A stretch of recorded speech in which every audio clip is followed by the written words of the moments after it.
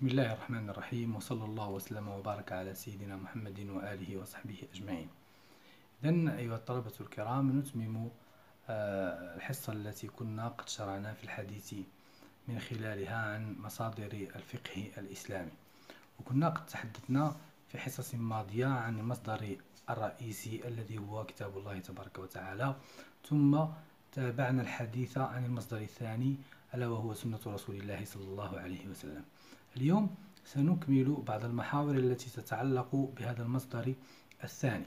كنا قد وقفنا في الحصة الماضية عن أنواع الأحكام التي جاءت بها السنة. وقلنا بأن النوع الأول أحكام موافقة لأحكام القرآن الكريم ومؤكدة لهذه الأحكام. كقول النبي صلى الله عليه وسلم لا يحل مال امرئ مسلم إلا بطيب نفسه. فهذا موافق ومؤكد لقول الله تبارك وتعالى يا أيها الذين آمنوا لا تاكلوا أموالكم بينكم بالباطل إلا أن تكون تجارة عن تراض منكم. ومنه أيضا ما جاء في السنة من النهي عن عقوق الوالدين وشهادة الزور وقتل النفس بغير حق. كل ذلك جاء مثله في سنة رسول الله صلى الله عليه وسلم. النوع الثاني أحكام مبينة ومفصلة لمجمل القرآن الكريم. من ذلك أن السنة التي بين أيدينا هي التي بينت مقادير الزكاة وبينت مقدار المال المسروق الذي تقطع فيه اليد وغير ذلك. النوع الثالث أحكام مقيدة لمطلق كتاب الله تبارك وتعالى أو مخصصة لعامه. فمن الأحكام ما يرد في القرآن الكريم مطلقا فتأتي السنة فتقيده. يأتي عاما فتخصصه السنة. فمن الأول قطع يد السارق جاءت مطلقة فقيدتها السنة بالمكان الذي يجب أن تقطع منه. إذا هذه آه، بعض تجليات السنة في كتاب الله تجليات تجليات السنة في في آه، تقسيم الأحكام لها. ثم كذلك هناك نوع رابع هناك نوع رابع. يمكن أن نتحدث عن أحكام جديدة لم يذكرها الكتاب الكريم لأن السنة مستقلة في بعض الأحايين بتشريع الأحكام وأنها تكون في هذه آه، في هذه آه، الأحايين تكون آه، كالقرآن الكريم في قضية استقلالها بالتشريع وقد ثبت عليه الصلاة والسلام أنه قال ألا وإني أوتيت القرآن ومثله معه. أي أوتيت القرآن وأوتيت مثل القرآن معه والتي يقصد بها السنة. يقصد بها السنة في وجوب اتباع أحكامها. من هذا النوع تحريم تحريم أكل كل ذي ناب من السباع ومخلب من الطير. إذا هذا مثال من الأمثلة التي جاءت بها السنة كأحكام جديدة. إذا نصل الآن للحديث عن مرتبة السنة في الاحتجاج بها. لا خلاف في أن السنة مصدر للتشريع كما ذكرنا في حصة ماضية لكن رتبتها في ذلك تالية لرتبة الكتاب. بمعنى أن الاحتجاج بالكتاب مقدم على الاحتجاج بالسنة وأن المجتهد يفتش عن الحكم في كتاب الله أولا. فإن وجد أخذ به وإن لم يجد تحول إلى السنة ليتعرف الحكم فيها. إذا يبحث في كتاب الله عز وجل. فإن لم يجد في كتاب الله تحول إلى الأصل الثاني بهذا الترتيب ألا وهو سنة رسول الله صلى الله عليه وسلم. دل على هذا الترتيب. ما روي عن النبي صلى الله عليه وسلم أنه قال لمعاذ كيف تقضي إذا عرض لك قضاء؟ قال أقضي بكتاب الله. قال النبي صلى الله عليه وسلم له فإن لم تجد قال فإن لم تجد في كتاب الله. قال فبسنة رسول الله صلى الله عليه وسلم. إذا هذا من الأدلة التي تدل على أن الكتاب هو الأصل الأول وأن سنة رسول الله صلى الله عليه وسلم هي الأصل الثاني.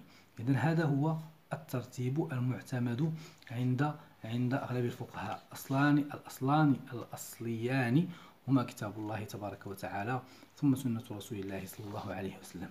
لتأتي المصادر التبعية نبدأ في الحديث نبدأ في الحديث فيها عن الإجماع. الإجماع يقصد به في اللغة العزم على الشيء والتصميم عليه. وفي اصطلاح الفقهاء وعلماء الأصول اتفاق المجتهدين من الأمة الإسلامية في عصر من العصور بعد وفاة النبي صلى الله عليه وسلم على حكم شرعي.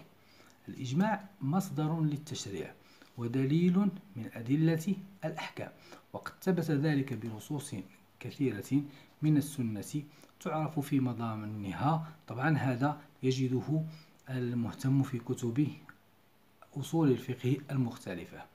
مستند الإجماع. الإجماع لا بد أن يستند إلى دليل لأن القول في الأمور الشرعية من غير دليل خطأ.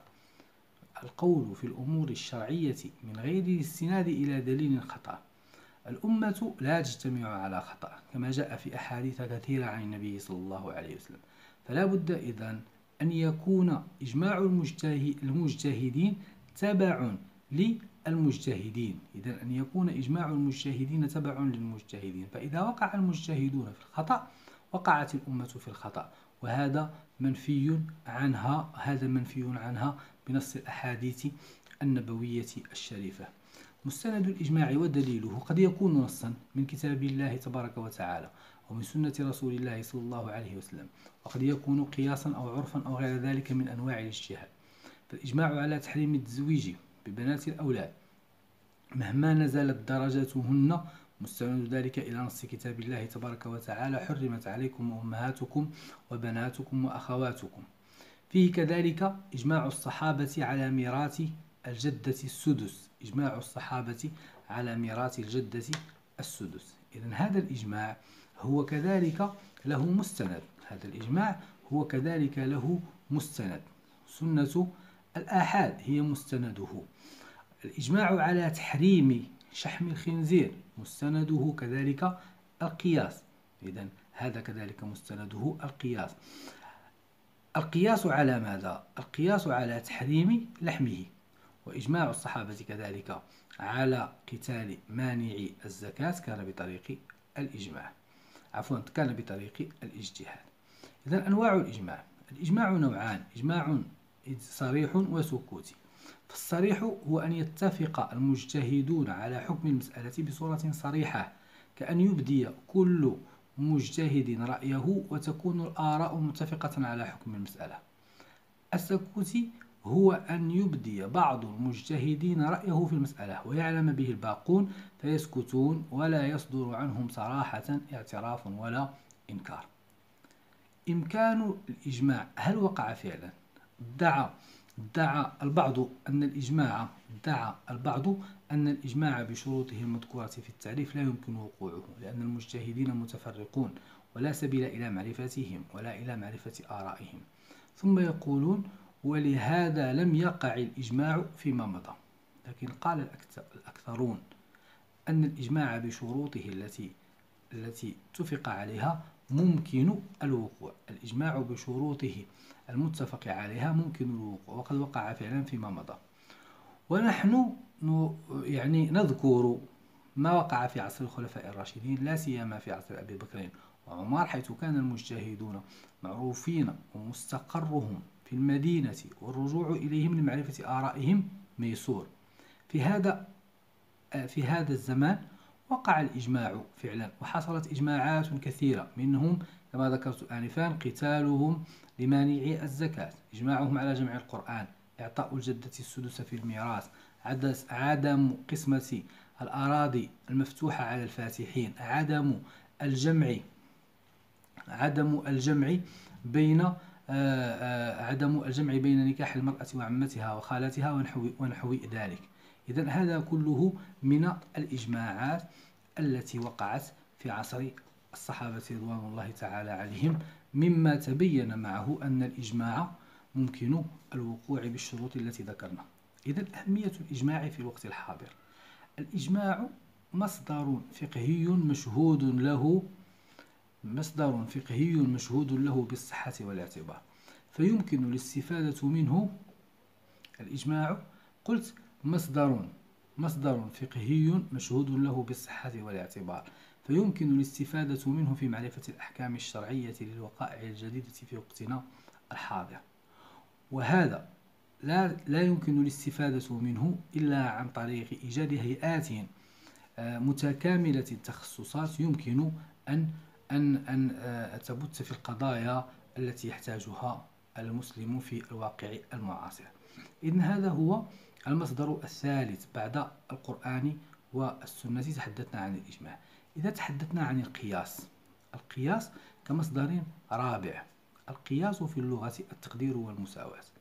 في اصطلاح الفقهاء الفقهاء عفوا هو إلحاق مسألة لا نص على حكمها بمسألة ورد النص بحكمها في الحكم الذي ورد النص لتساوي المسألتين في علة الحكم. يعني مسألة ما فيهاش حكم. مسألة فيها حكم. نقيس المسألة التي ورد الحكم بشأنها على المسألة التي لم يرد فيها حكم. هذا القياس يسمى هذا الإلحاق يسمى قياسا. المسألة المنصوص على حكمها تسمى المقيس عليه أو الأصل. والحكم الذي ورد به النص في المقيس عليه يسمى حكم الأصل. والمسألة التي لم يرد بحكمها ويراد التي لم يرد بحكمها ويراد إلحاقها بالمقيس عليه تسمى الفرع أو المقيس. والعلة التي من أجلها شرع الحكم تسمى تسمى علة. فإذا فإذا ورد فإذا مثلا وردت مسألة ورد النص بحكمها وعرفنا علة الحكم ثم وقعت مسألة لم ينص على حكمها لكن تشترك مع المسألة الأولى في علة الحكم فإن المسألة الثانية تأخذ حكم المسألة الأولى. يعني يمكن أن نعطي أمثلة. آه حكم شرب الخمر. حكم شرب الخمر. مثلا شرب الخمر محرم لورود النص بذلك. وعلة هذا الحكم هو الإسكار. وعلة هذا الحكم هو الإسكار. فكل نبيذ فيه علة يكون حكمه التحريم أيضا على أيضا عفوا قياسا على على على الخمر. إذا أي نبيذ يمكن أن يسكر يقاس على الخمر. مثال آخر قتال عفوا قتل الوارث موروثه. مسألة ورد النص بحكمها وهو حرمانه حرمان يعني القاتل من الميراث. وعلة الحكم هو استعجال الوارث الميراث قبل أوانه فعوقب بحرمانه. نقيس عليها قتل الموصي الموصى له قتل الموصى له الموصي.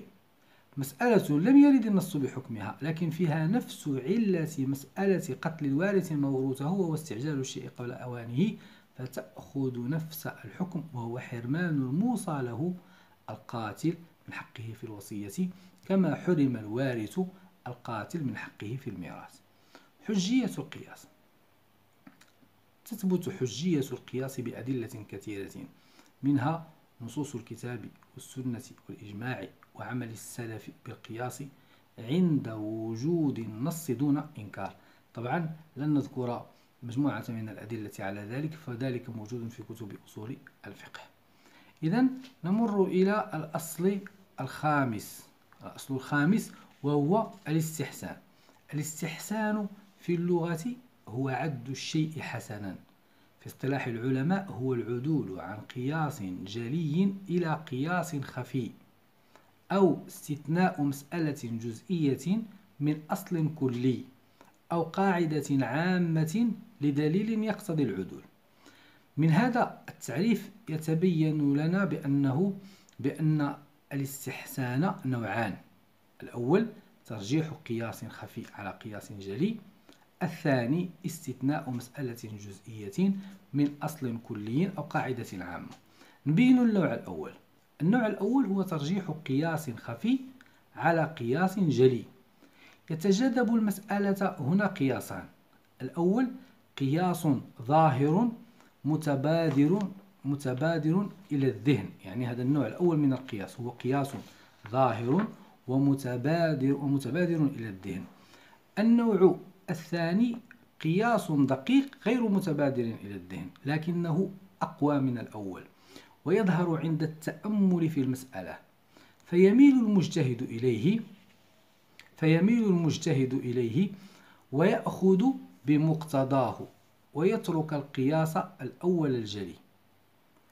مثاله بيع الأراضي الزراعية دون النص في عقد البيع على حقوق ارتفاقها يعني كتباع الأرض وما كي وما كيتذكرش في عقد البيع حق الشرب حق المسير حق المرور. فهذه الحقوق لا تدخل تبعا مع المبيع في مذهب الحنفية. فإذا وقف مثلا وقف شخص يعني جعلها وقفا وقف شخص أرضا زراعية ولم يذكر حقوق ارتفاقها صراحة لا تدخل في الوقف قياسا على البيع كما يقضي به القياس الجلي. لأن كلا من البيع والوقف لأن كلا من البيع والوقف يعتبر إخراج إخراجا للمال من مالكه. لكن عند التأمل في المسألة يظهر أن قياسها بالإجارة أولى من قياسها على البيع. يظهر أن قياسها بالإجارة أولى من قياسها على على البيع لأن الموقوف عليه لا يتملك الموقوف وإنما يتملك منفعته فقط. يعني هو ما تياخدش هذاك الوقف؟ كياخد غير المنفعة ديال داك الوقف. كما أن المستأجر اللي كيكون كاري ما تياخدش الدار وإنما يتنفع فقط بما اكتراه. ومقتضى هذا القياس الخفي دخول ومقتضى هذا القياس الخفي دخول حقوق حقوق الارتفاق تبعا في الوقف. ولو لم ينص ينص عليها في الوقف قياسا على دخولها في الإجارة من غير ذكر لها لأن منفعة الموقوف لا يمكن تحصيلها من الأرض الموقوفة بدون حقوق الارتفاق كما هو الحال في إجارتها. إذا هذا النوع الأول. النوع الثاني ذكرت لكم بأنه استثناء جزئية من أصل أو قاعدة عامة. قد تقتضي القاعدة العامة حكما كليا ينطبق على جميع جزئيات القاعدة. لكن يظهر للمجتهد دليل يقتضي استثناء مسألة معينة من هذا الحكم الكلي. فتنفرد تلك المسألة بحكم خاص ودليل الاستثناء قد يكون نصا أو مصلحة أو عرفا أو غير ذلك. ونورد بعض الأمثلة. مثلا الأصل الأصل العام أن المحجور عليه لسفه لا تصح منه التبرعات ومنها الوقف. لكن لكن إن استثني لكن استثني قلت بأن الأصل أن المحجور عليه لسفه لا تصح منه التبرعات. وقلت من هذه التبرعات الوقف. لكن استثني من هذا الأصل جواز وقفه على نفسه للمصلحة استحسانا. ووجه الاستحسان هو حفظ ماله وعدم سيرورته عالة على غيره. يعني هنا يتبين استثناء جزئية من أصل أو قاعدة عامة. فالمحجور عليه لا تصح منه التبرعات. لكن استثني من هذه القاعدة جواز وقفه على نفسه حتى لا يبقى عالة على على غيره. إذن هذا هو المثال الثاني من آه، من من من الجزء الثاني فيما يتعلق بقاعدة الاستحسان. ثم كذلك يمكن أن نوضح بأن حجية الاستحسان كمصدر من مصادقه الفقه المعتبرة هو يستمد حجيته من من من من هذين الأمرين التي اللذان ذكرتهما قبل قليل. فالاستحسان مصدر من مصادر الفقه. الاستحسان قلت مصدر من مصادر الفقه المعتبرة لأنه ليس إلا أخذا بقياس أو بديل آخر كما ذكرت قبل قليل. أما من أنكره من العلماء كالشافعي فإنه أراد بالاستحسان في مذهبه اتباع الهوى. وتشريع الأحكام بلا دليل وهذا طبعا لا يجوز. ولهذا سلم به أصحابه بعده إن تبين إن تبين آه، آه، آه، لهم صوابه في في في جل الحالات. في جل الحالات. إذا نكون بهذا قد تحدثنا عن بعض مصادر الفقه الإسلامي تحدثنا عن كتاب يعني كتاب الله تبارك وتعالى عن السنة عن الإجماع عن القياس وتحدثنا كذلك عن الاستحسان. إذا في الحصة القادمة إن شاء الله سنمر للحديث عن المصلحة المرسلة والعرف وقول الصحابي إلى غير ذلك مما تبقى من مصادر الفقه الإسلامي. إذا بهذا نكون قد بلغنا إلى نهاية هذه الحصة. والسلام عليكم ورحمة الله تعالى وبركاته.